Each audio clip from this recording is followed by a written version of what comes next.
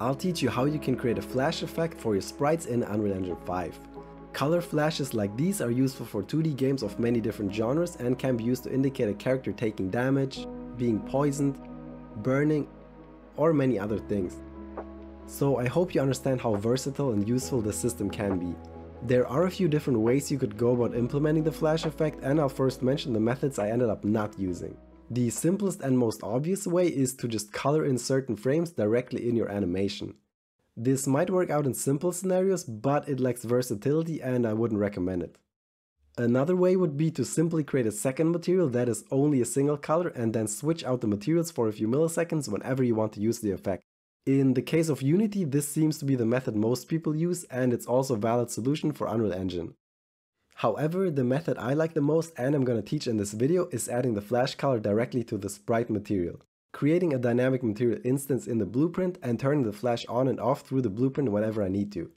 Let's get started. For the demonstration I'll use my character blueprint, but all you need is a blueprint which has a sprite or flipbook component. Click on the sprite and check the details panel to the right. Unless you've already created a custom material, you'll either be using the masked lit sprite material or masked unlit sprite material, depending on your needs. This method is going to work for both of those. We'll first need to create a copy of their parent materials, so click on the folder icon to find them in the content browser. Select the default sprite material and default lit sprite material and drag them somewhere into your content folder. Select copy here. I'll rename the lit material to m underscore custom lit sprite and the unlit material to m underscore custom unlit sprite.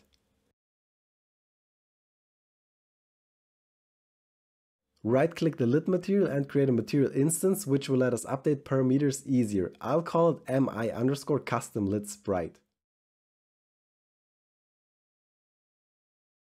Do the same thing for the unlit sprite and call it mi underscore custom unlit sprite. Let's open up m underscore custom lit sprite. We can drag these nodes to the left to create some space since we want to plug into the emissive color. Hold the 3 key on the keyboard and left click somewhere to create a vector 3 color. Open it up and set the saturation and value all the way to the top to create red.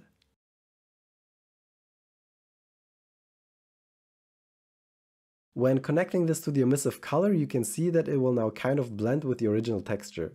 We don't want this color to be active all the time though, so we'll need a multiplier which we can adjust from our blueprints. Add a multiply node here and connect it to the emissive color.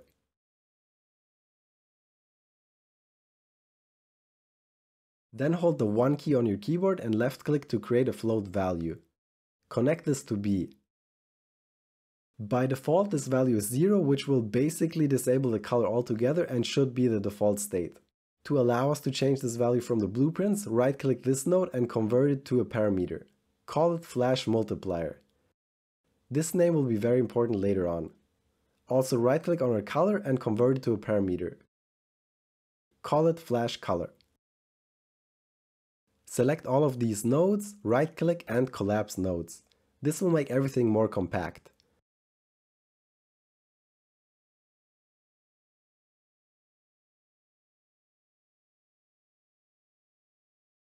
Select the collapsed graph and copy it by right-clicking or pressing Ctrl plus C. Then open up the unlit material. Press Ctrl plus V to paste our flash effect. As you can see the diffuse texture is already using the emissive color, so we can't just plug our flash effect in here. Instead, drag off from the flash effect node and create an add node. Then connect the line which was originally in the emissive color to this add node and the output of the add node to emissive color. Now both of our materials are prepared and we can use them in the same way. Open up your blueprint and select the sprite or flipbook component. For the material type in mi underscore custom. You should see the material instances of both of our custom materials. Pick either the lit or unlit one depending on your needs. I'll go with the custom lit sprite material instance. To turn this into a dynamic material, we need to open up the event graph and find begin play. Drag a reference to the sprite or flipbook in here and call create dynamic material instance on it.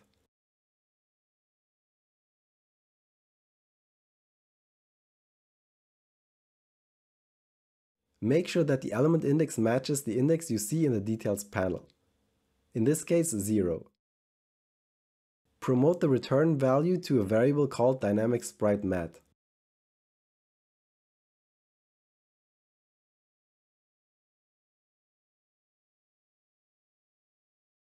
To quickly demonstrate how this works, let's just add a delay of 5 seconds here. On the dynamic sprite material, call set scalar parameter value.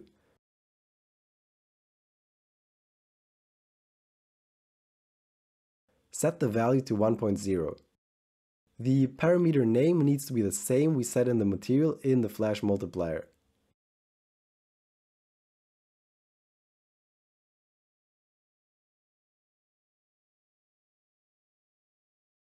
When starting the game, you'll see that the flash color becomes active after the 5 second delay.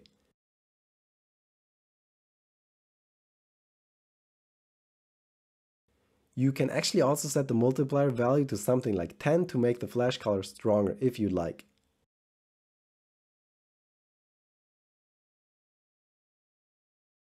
Let's delete the delay and setting of the parameter value here.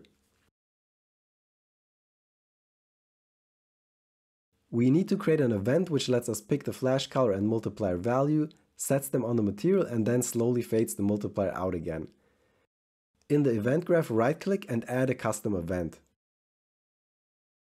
Call it trigger flash. Again, grab a reference to the dynamic sprite material and call set scalar parameter value on it. The parameter name is again flash multiplier as we can see in the material. The value can just be dragged onto the event node to add a new pin. Rename it to multiplier and set the default value to 1.0.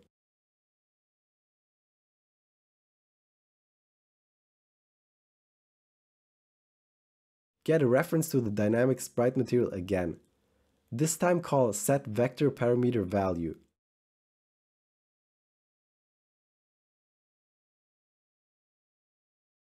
The parameter name should be our flash color.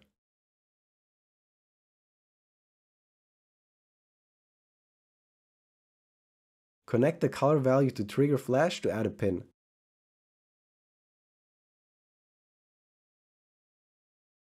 Rename this to color and set the default value to red by sliding the saturation and value all the way up.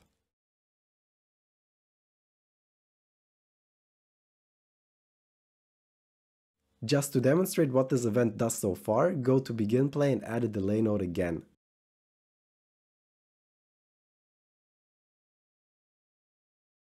Then call trigger flash. You can see that we can now easily set the multiplier and color, but the color still stays active forever.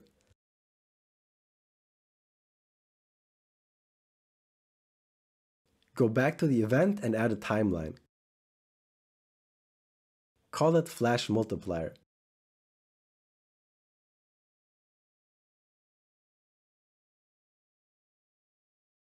Open it up and create a float track called alpha. Right-click to create a new key.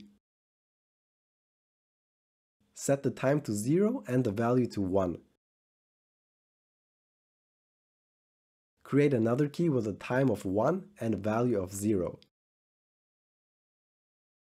You can click these arrow symbols to center the view and then zoom out even more with the mouse wheel. Adjust the length of the timeline to match and also be 1 second. You can then select all of the keyframes, right click and set key interpolation to auto to make the transition smoother. Go back to the event graph. We want to reuse the part where we set the scalar parameter, so copy it. And paste it here. Connect it to the update pin of the timeline. For the value, we want to use a lerp that smoothly goes from the A value to the B value. For the alpha, we use the alpha of our timeline.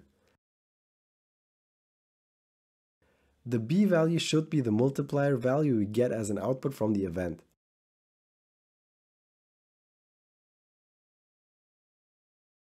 The A value needs to stay at 0. When playing the game, you can see that the flash is now working. However, we currently have no way of setting how long it takes to fade out and it's always 1 second. Move these nodes to the right to create some space. Right click and search for flash multiplier or whatever you call your timeline.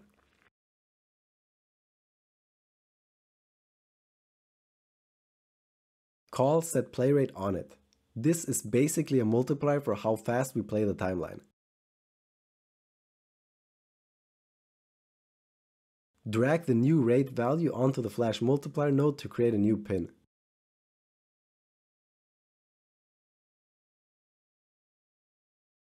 Rename it to play rate and set the default value to 5. This means with the default value the fadeout will finish playing in 0.2 seconds.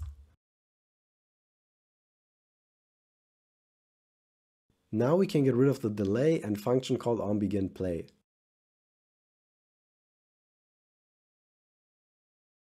You now want to find the place in your blueprints where you need to trigger the flashing. For example on any damage. Just call the event and set the values you want to use and then you can see it in action. You can now easily add this to many different places in your blueprint and adjust the values to fit the situation. If you want to learn another technique to make your games feel much better, check out my video on how to implement hit stop. As always, thanks to my amazing patrons who support this channel.